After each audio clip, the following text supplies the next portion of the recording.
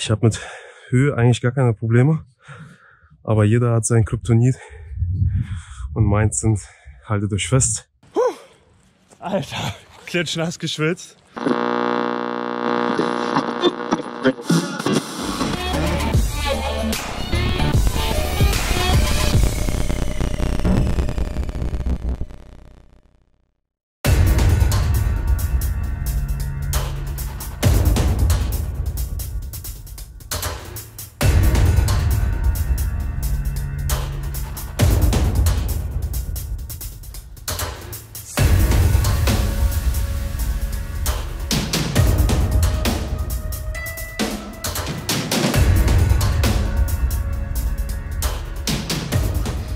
Leute, grüße euch. Ich bin Taco, herzlich willkommen zu einem neuen Video auf meinem Kanal. Ich bin immer noch unterwegs mit dem Alex auf Belgien-Tour. Und wir sind jetzt hier wahrscheinlich bei unserer letzten Location angekommen. Dieses riesengroße verlassene Atomkraftwerk bzw. der Kühlturm. Und wir wollen jetzt mal schauen, ob wir da reinkommen. Ich kenne es aus anderen Videos schon. Man muss auf jeden Fall ein bisschen klettern. Also von unten rein irgendwie. Über so Holzplanken. Mal schauen. Let's go. So, frisch gemacht. Neue Speicherkarte drinne. Akkus in der Tasche. Kopflampe in der Tasche. Headstrap von Alex gerade noch geschnappt. Dass wir die GoPro uns vielleicht noch auf den Kopf schnallen können. Weil ich glaube, es geht jetzt hier vorne hinter den Büschen erstmal nach unten. Und dann kommen wir von unten da irgendwie rein. Ich habe das, glaube ich, mal bei Felix, bei Adventure Buddy im Video gesehen, dass man dann über irgendwelche Holzbretter nach oben klettern muss. Ihr wisst, ich habe Höhenangst. Ah, das gehört auch noch alles dazu, ne? Das Ganze da drüben. Und das da ist, glaube ich, die, dieses Rohr geht da vorne über irgendwie so einen Fluss oder sowas, glaube ich, auch drüber. Ich glaube, da unten steht auch alles unter Wasser. Zumindest im letzten Video war es so, wo ich das gesehen habe. Vielleicht haben wir echt Glück und es ist trocken, ne? Ich sehe bis jetzt kein Wasser. Nee, kein Wasser. Crazy. Da unten sehe ich Wasser, glaube ich.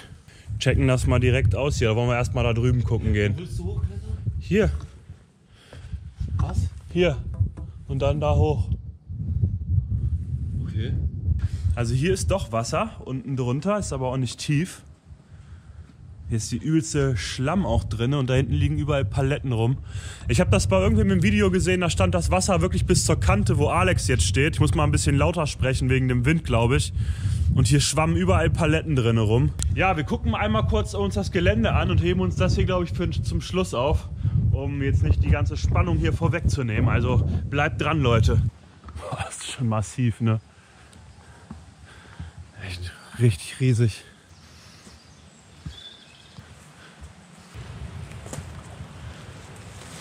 Boah, heftig.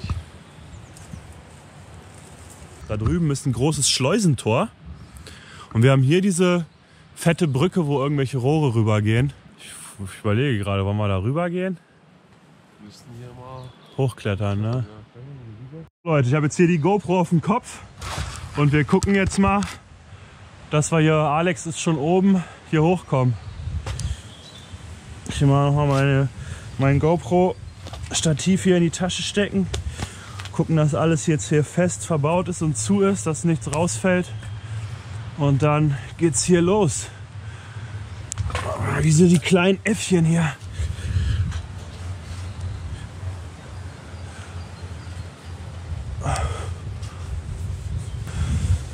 Okay, das wäre schon mal geschafft. Aber das Schlimme ist jetzt, glaube ich, da rüber zu gehen. Ich glaube, das ist mir zu krass. Also ich kriege jetzt schon wieder übelste Gefühle, obwohl das hier gar nicht hoch ist. Ne? Ich darf einfach nur nicht runter gucken. Wir schauen mal, Leute. Ich kletter mal hier in die Mitte rein. Ich glaube, das ist angenehmer einfach so fürs Feeling, wenn ich hier nicht die ganze Zeit runter gucken muss, weil man muss ja auch immer gucken, wo man hintritt. Ja, was soll's, ne? Let's go, Leute.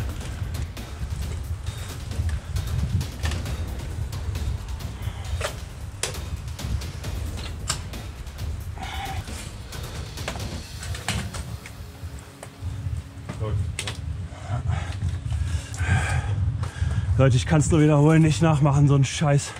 Es macht natürlich schon mega Bock. Abenteuer erleben, mal irgendwie über seine Grenzen hinausgehen. Und man muss halt manchmal einfach, wie Fritz halt schon immer sagt, aus der Komfortzone raus, damit man das Leben spürt und was erlebt.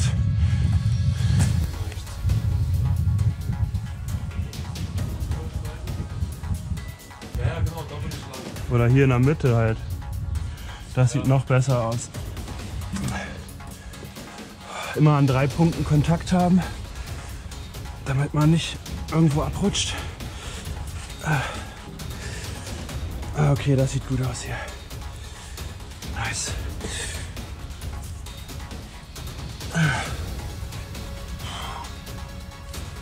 Yes.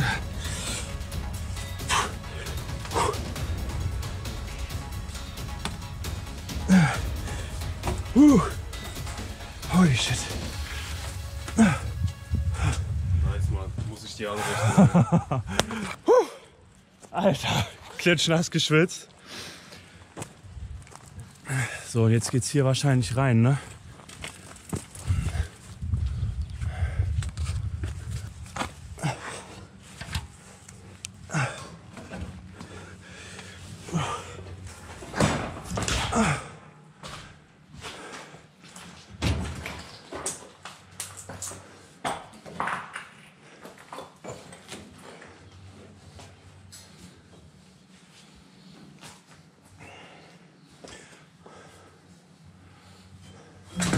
So, wir sind drin, Leute.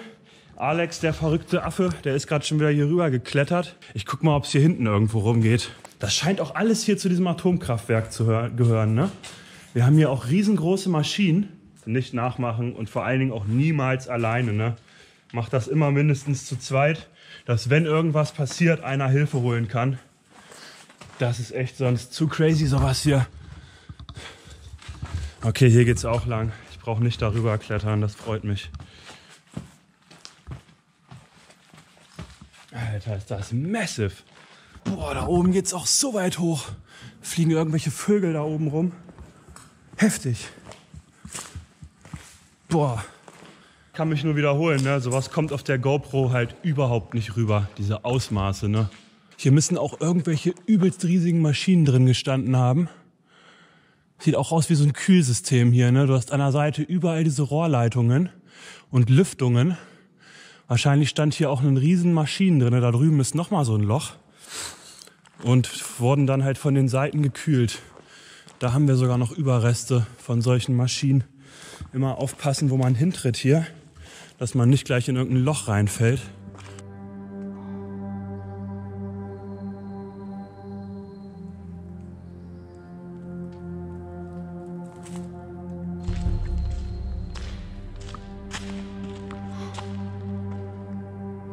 Hier ist auch ein Loch. Hier liegen nur irgendwelche Spanplatten drüber. Deswegen hat hier schon jemand so ein Gitter draufgelegt, dass man da nicht reinsemmelt. Ne?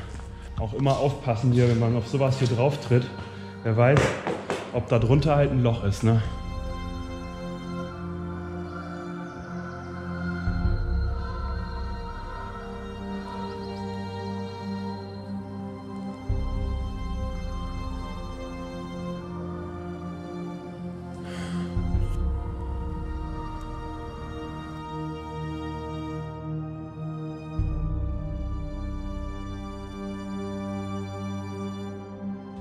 Diese Löcher überall, ne?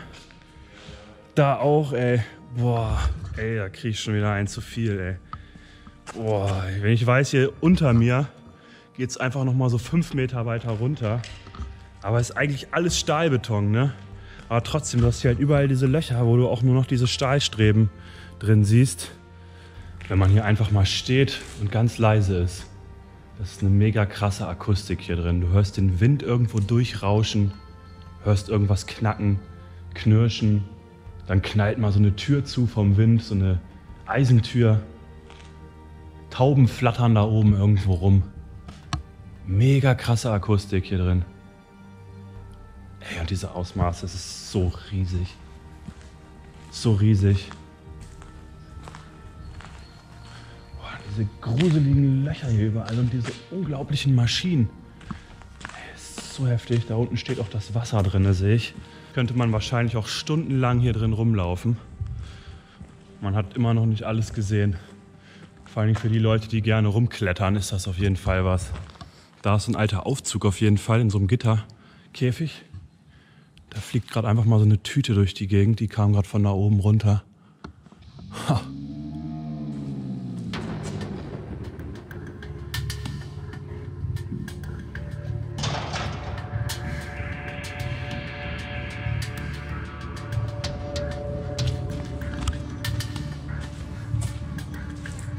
Jo, ich hatte jetzt hier gerade wieder mega die Probleme mit meiner GoPro. Die ist super heiß geworden.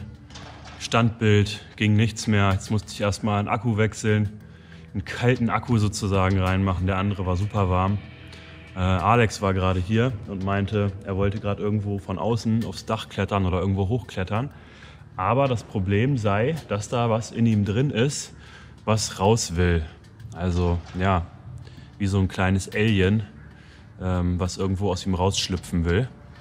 Und jetzt äh, hatte er nur so ein DIN A4-Blatt irgendwie, Papier, also so ein DIN A4-Blatt, äh, so Druckpapier irgendwie noch in der Tasche.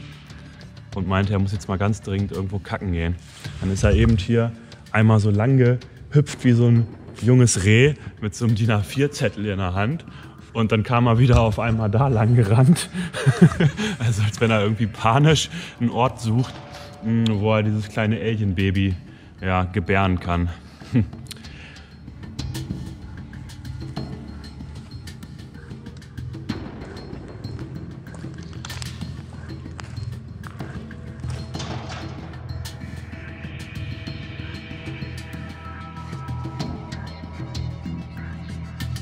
Ja, Leute, ich weiß nicht, ob ihr es kennt, ob ihr selber auf Lost Places geht. Manchmal, wenn die Aufregung einfach so groß wird, dann spielt die Verdauung verrückt und dann muss da einfach was raus. Komme, was wolle, es muss raus aus dem Körper. Und ich meine nicht vorne das Flüssige.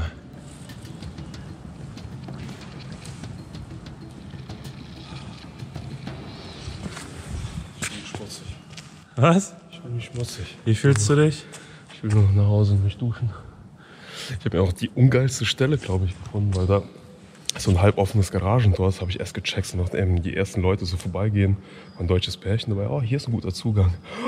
Und ich so sitze am Stopp. Schnell weggerannt. Echt? Sind die weggerannt? Oh boy. Ah ja.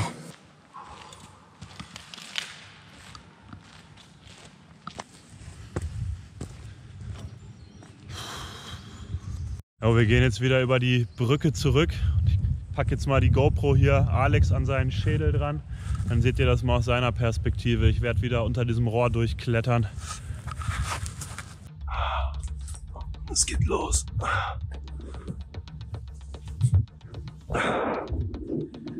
Ja, schade, leider keinen Zugang nach oben gefunden im Gebäude.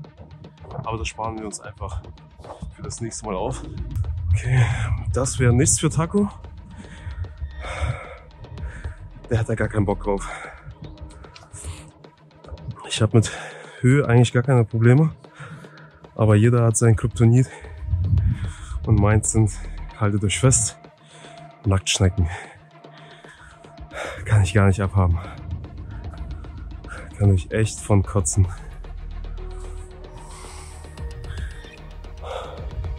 So, wo läuft der rum? Taco? Ah ja, da unten. Ich hoffe, dass es da auch irgendwie eine Leiter gibt, dass ich da wieder runterkomme. Und da sind wir angekommen. So Leute, wenn ihr Bock habt, dass wir nochmals herkommen und das gesamte Fabrikgebäude erkundschaften, auch die ganzen Etagen, da soll es noch Turbinen geben, verschiedene Büroräume und äh, da könnte man echt so den ganzen Tag das Gelände abstöbern. Äh, Finde ich auch mega interessant, weil auf dem Dach, auch auf dem Nebengebäude, gab es auch ja, so Büroeinrichtungen, so sah es mal aus. Können wir auf dem Dach eine Overnight machen, stelle ich mir echt interessant vor. Und da ist auch schon Taco. Yes, wir haben es geschafft. Ja. Das wäre gar nicht dein Ding da oben, ne? Bei mir, ich habe auch so ein bisschen Muffensausen bekommen. Ich habe eben noch überlegt, ob ich hier außen lang gehe, wo du vorher lang gegangen bist. Ja, Habe ich dann noch ein Stück gemacht, bis ich über dem Wasser war und dann wurde es wieder ganz komisch. ja, ja, ja. So, ich übernehme wieder. Wir sind wieder drüben angekommen. Zumindest fast. Hier geht es auch noch mal ein paar Meter runter. Da drüben waren wir gerade drin.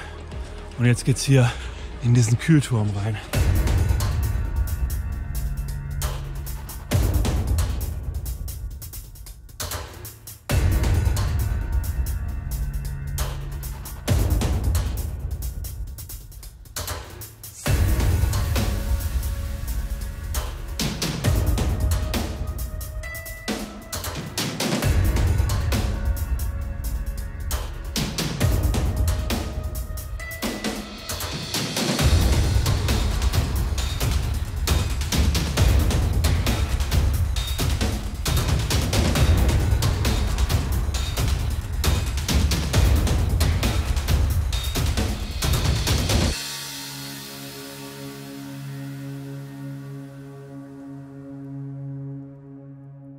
Da zieht euch das rein. Einfach so ein Drumset. Da unten liegt noch ein Verstärker oder Boxen. Ich kann das nicht genau erkennen.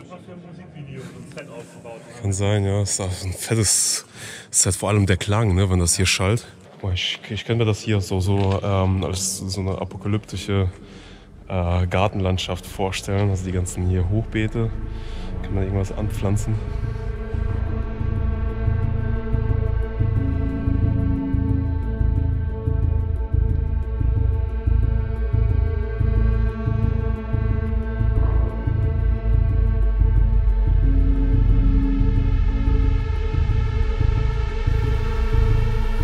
Ende dieses Abenteuers war auch der Beginn einer Freundschaft. Und es sind Freundschaften, Verbindungen mit Menschen, die dem Leben Wert geben. An dieser Stelle möchte ich mich bedanken bei Alex für sein Vertrauen und für dieses unvergessliche Wochenende. Und ich möchte mich bei euch allen bedanken, die immer meine Videos schauen, mir Zuspruch in den Kommentaren geben und mich damit motivieren, weiterzumachen. Ohne euch wären diese ganzen Abenteuer nicht möglich. Ich bedanke mich bei euch von ganzem Herzen und würde mich freuen, wenn ihr meinen Kanal abonniert und ich euch beim nächsten Video wieder begrüßen darf.